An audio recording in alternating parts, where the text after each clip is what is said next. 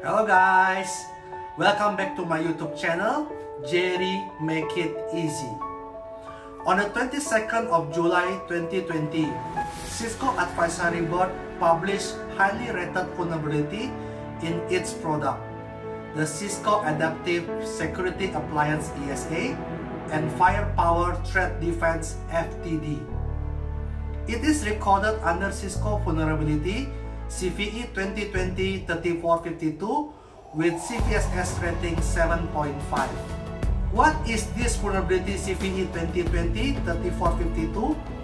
It is a vulnerability in Cisco ASA and FTD software which an unauthenticated attacker could conduct directory traversal attack by sending a specially crafted HTTP request.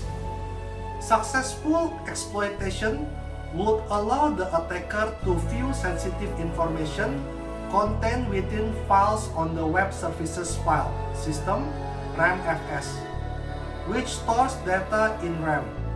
As a result, an attacker could gain read-only privileges for WebVPN files, which include the WebVPN configuration of Cisco ASA users, bookmarks, cookies, web content, and HTTP URL addresses.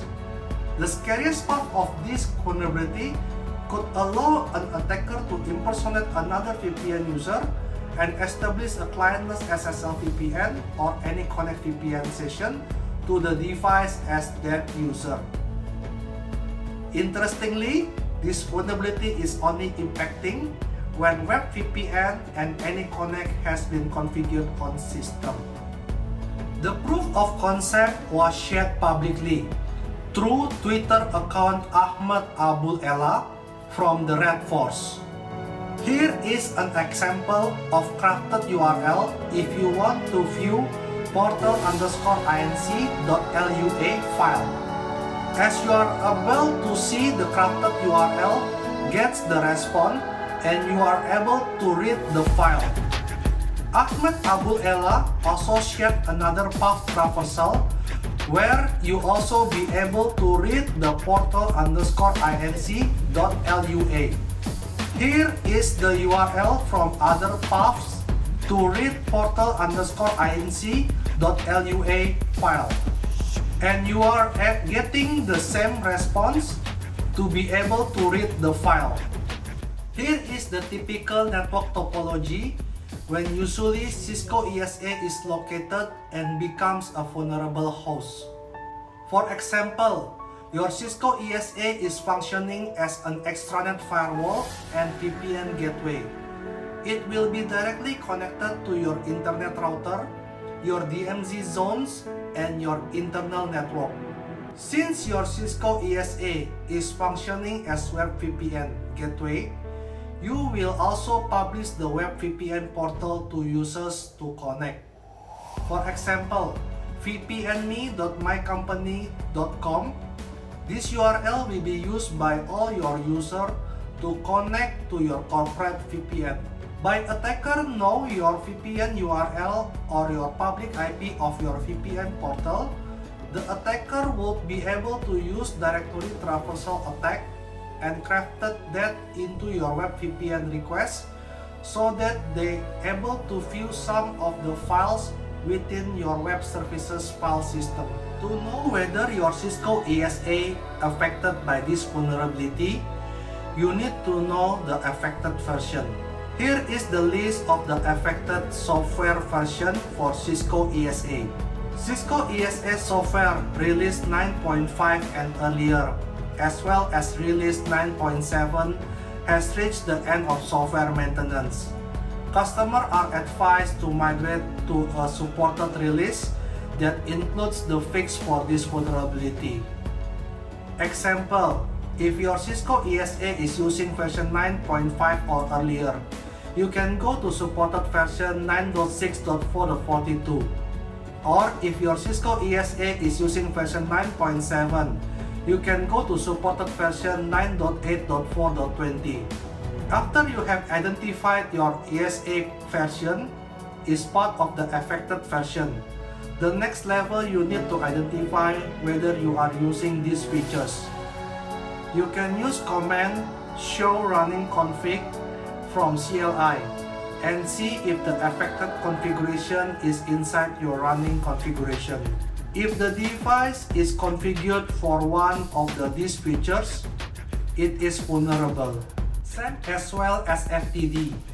To know whether your Cisco FTD affected by their, this vulnerability, you need to know the affected version. Here is the list of the affected software version for Cisco FTD. If you went to the Cisco Security Advisories portal, for those using version 6.3.0 to 6.5.0, there are few alternate upgrades recommended by Cisco. So either you do the upgrade directly to the major version 6.6.0.1 or you upgrade to the minor version plus install the additional hotfix.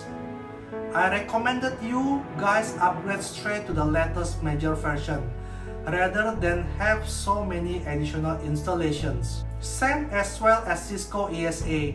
After you have identified your FTD version is part of the affected version, the next level, you need to identify whether you are using these features. You can use the command show running config from CLI and see if the affected configuration is inside your running configuration. If the device is configured for one of these features, it is vulnerable. Please take note, there is no workaround available that addresses this vulnerability. I also would like to hear the feedback from all of you who is watching my video. Are you going to upgrade your Cisco ASA or FTD as per Cisco recommendation.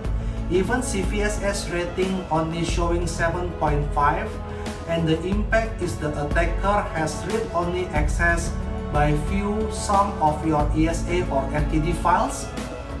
You can post your decision on the comment below so it will give additional consideration for those who's watching this video. Thank you for watching my YouTube channel Hopefully, the information provided gives you a clear understanding of the vulnerability and how to fix it. Please don't forget to subscribe, like this video, and turn on the notification to support this security topic. And comment at the below if you have further questions about this vulnerability. I will happy to answer the queries. Goodbye. Have a nice day.